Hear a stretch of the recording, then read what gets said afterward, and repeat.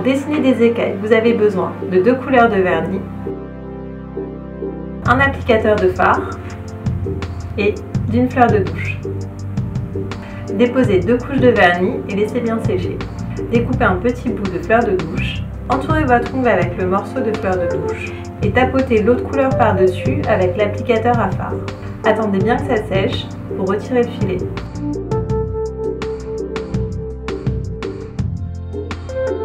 Un petit raté Pas de panique. Enlevez le vernis comme une pro. Posez un coton imbibé dissolvant sur l'ongle. Inutile de frotter, étirez en zigzag vers le bas. Si vous n'avez pas le temps de tout recommencer, déposez juste une couche de la deuxième couleur, c'est tout aussi joli. Et pour finir les filles, le top coat va satiner le résultat.